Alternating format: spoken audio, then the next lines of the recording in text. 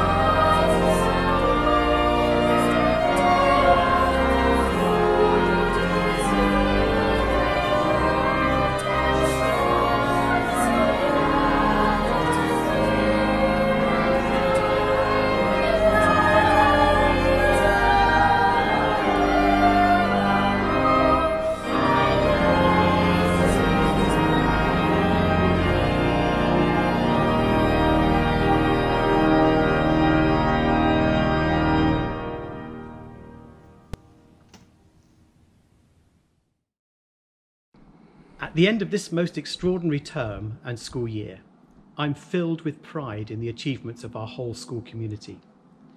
No one could have predicted at the end of the Lent term back in March just what a journey we will be travelling on together to reach this day. I do not want to forget that two thirds of the school year was taught as normal, with a huge range of matches, tournaments, trips, and a packed term card of events. We welcomed Mr. Sanderson to cover for the maternity leave of Mrs. Jenkinson in year four, and now we thank him for all that he has given to us as he leaves us at the end of this term. In the Lent term, the Galilee Choir went on tour to Edinburgh, Lindisfarne, and Corbridge, and the whole school went to Beamish during the Lumiere Festival last November.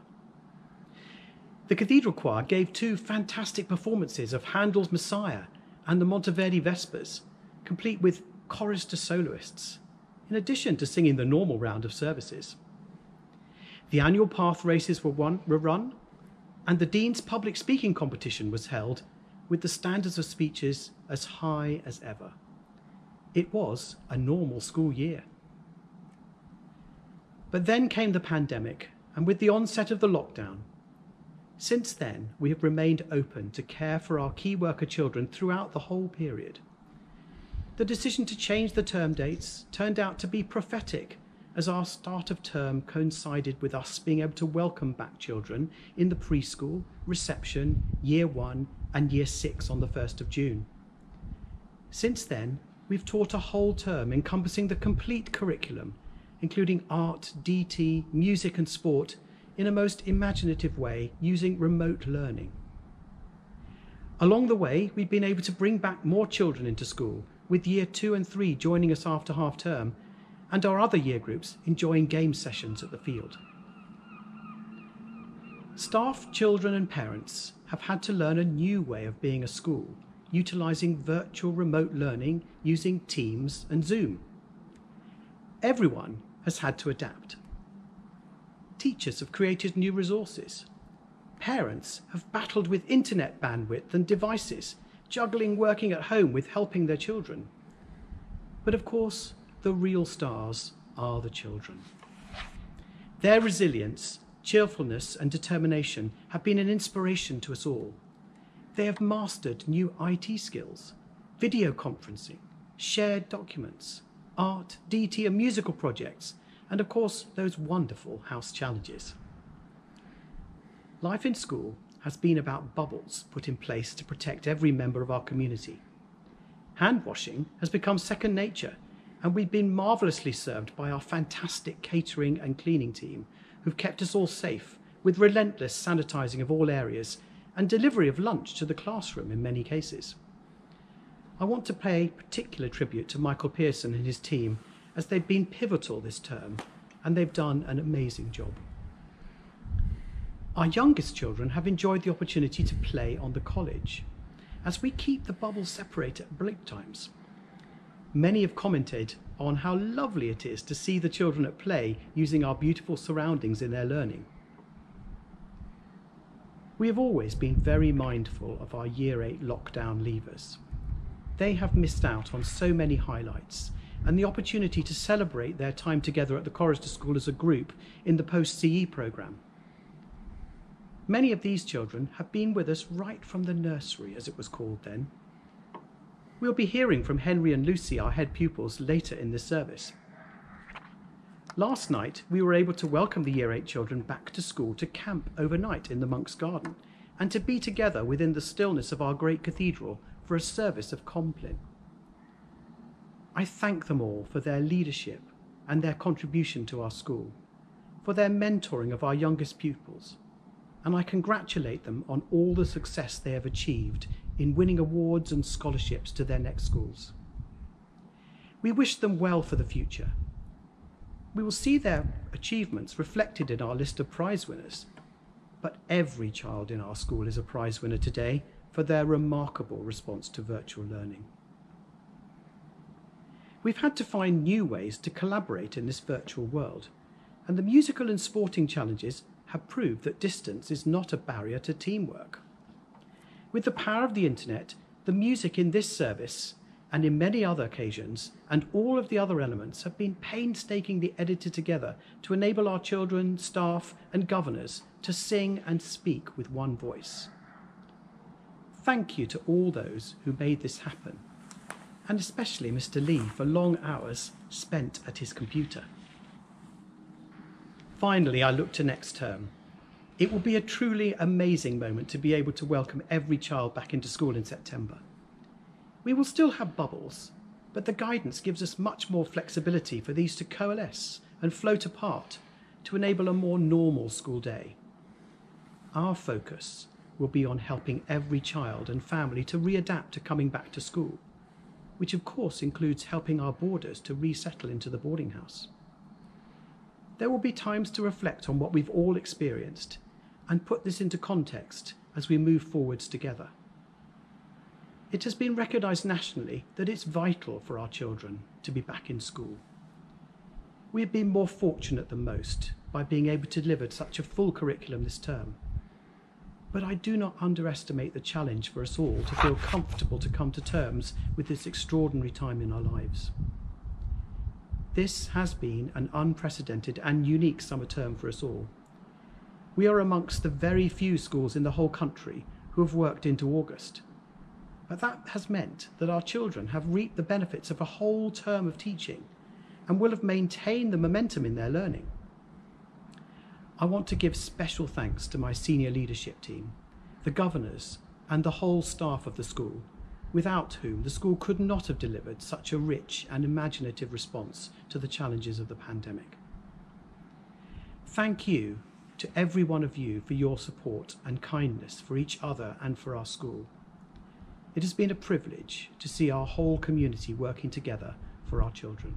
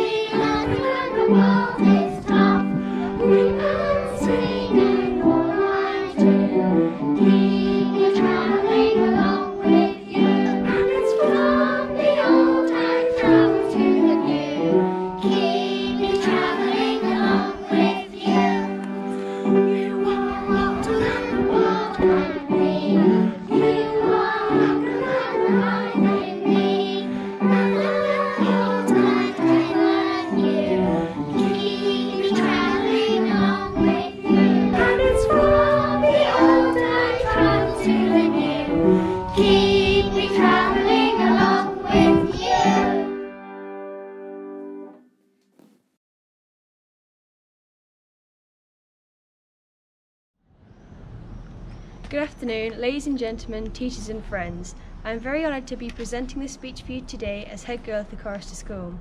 Sadly, this is my last year at the Chorister School, and unfortunately, due to the disruption caused by COVID 19, we have had to adapt the way we have our end of year celebrations.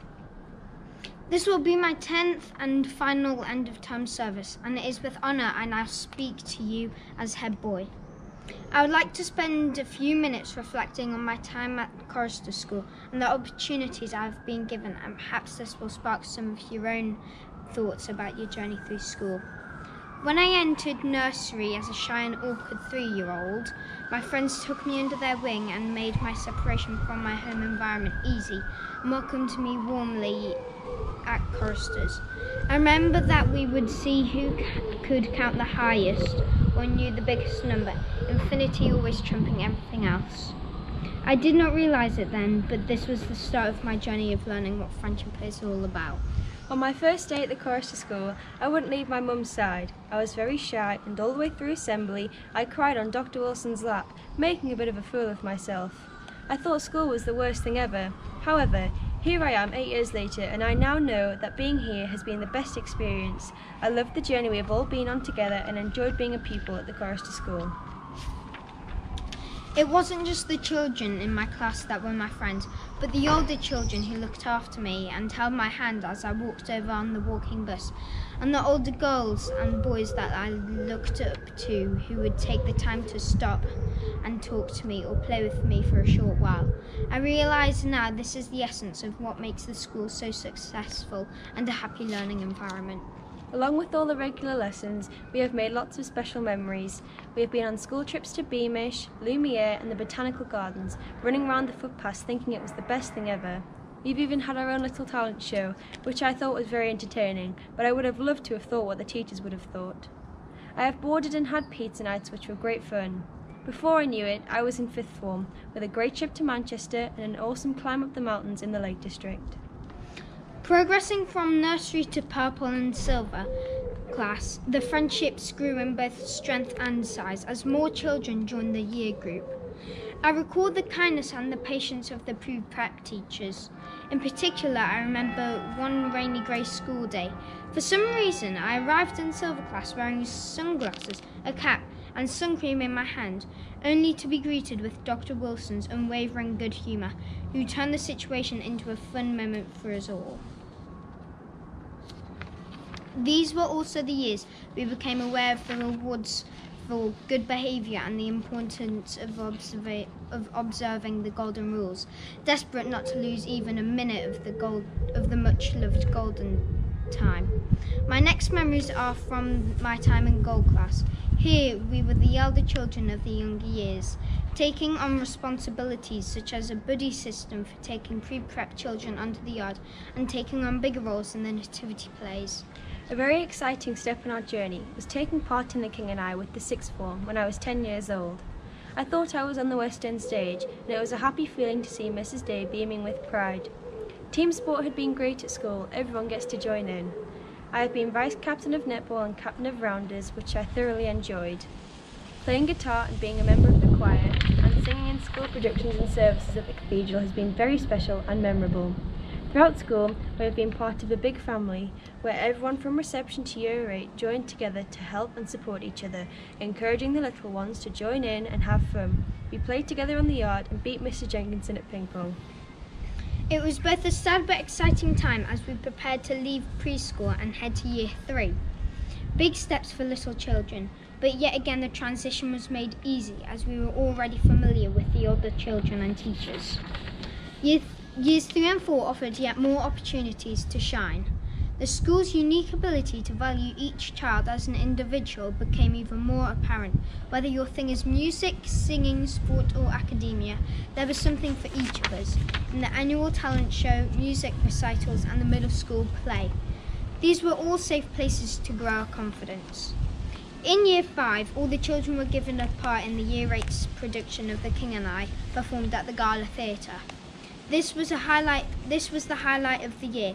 It was also the year we could audition for the Galilee Choir. I recall I sang Edelweiss and was proud to be invited to join the choir. Year six was the start of the public speaking competitions, preparing us for the future. Our background of participating in small spoken pieces in the cathedral, at parents' assemblies, and end of term services served as well. This was our this was also the year we went to Loretto. For many of us, uh, this was our first trip away from home. Year 7 was a tough year, the first year of the common entrance exams. However, we were suitably rewarded with great trips away, and ultimately knowing we had Year 8 to look forward to, with the trip to Askrigg and the Year 8 play field trips away, and endless fun planned for the last term of school. This was this was the term we had all been waiting for all our chorus lives. But as you know, this was that isn't what happened. Year eight Year eight had been an exceedingly challenging year. I was lucky enough to attend school as a key worker child for some of the time with my good friend Sam. Remote learning has been very challenging from both a teaching and learning perspective. I've missed my friends socially and I have even missed the mountains of homework. But most of all, I've missed my friends. I was looking forward to my final year and knew it was going to be incredible. In August last year, I received a very special letter through the post from school. I was asked to be head girl and I felt very honoured and proud. I looked forward to all the special events and responsibilities that this year would bring, but sadly, many of them have had to be cancelled. This year has been very difficult to everyone with the COVID 19 pandemic changing the way we all attended school. Who would have thought we would have had lessons on Zoom? The teachers have made every day lots of fun, telling jokes, giving us riddles to solve, as well as our regular lessons. While we haven't been in the same room, we have all been included and able to meet up and socialise with each other online, which has been different but quite special. We have both enjoyed our role as head boy and head girl, and honour and an honour we will remember forever. Good luck to next year's of head school, along with the rest of the pupils and teachers. It has been an honour and a privilege to speak to you on what is our final day as Chorister School pupils. Thank you.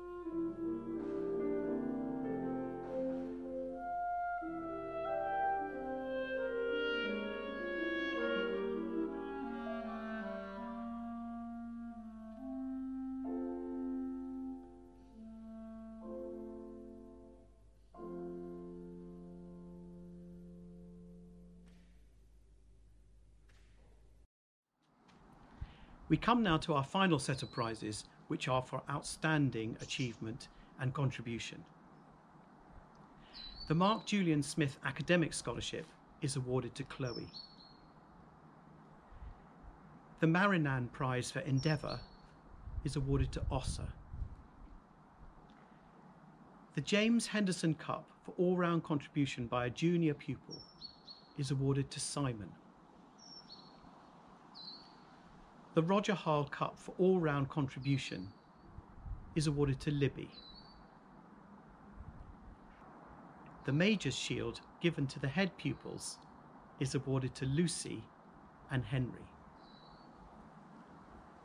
The Bales Trophy for Teamwork this year is awarded to the Key Worker children.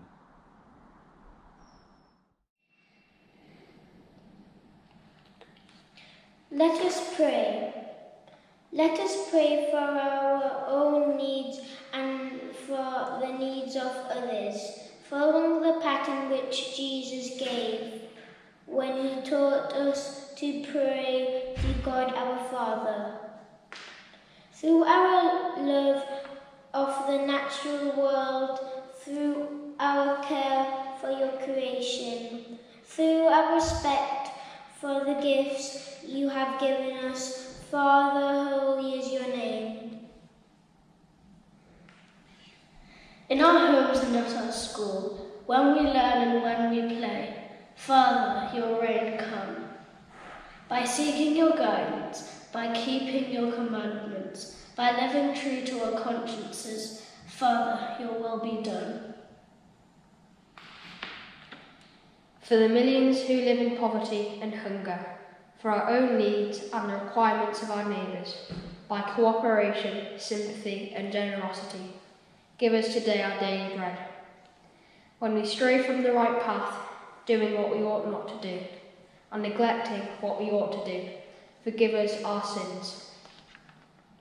If any have hurt us by being unkind or unfair, help us forgive as we have been forgiven. When riches make us forget you, or hard times prompt us into despair, when success makes us boastful, or failure makes us bitter, in the time of trial, lead us into light. In the assurance of faith, in the confidence of hope, in the will to serve, help us to love Christ as Lord, and our neighbour as ourselves. For yours is the kingdom, the power, and the glory, forever. Amen.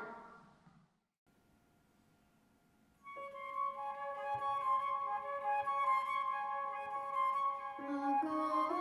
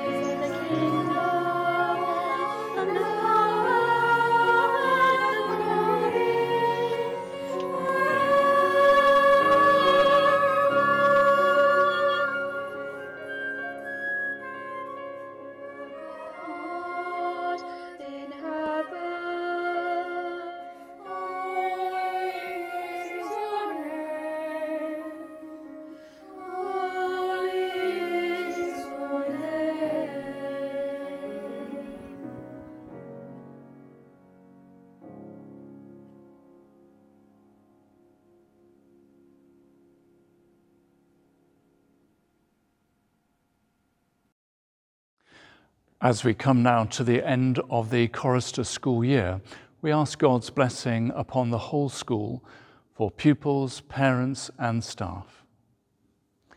And may the peace of God, which passes all understanding, keep your hearts and minds in the knowledge and love of God and of his Son, Jesus Christ our Lord. and the blessing of God Almighty, the Father, the Son, and the Holy Spirit be upon you and remain with you always. Amen.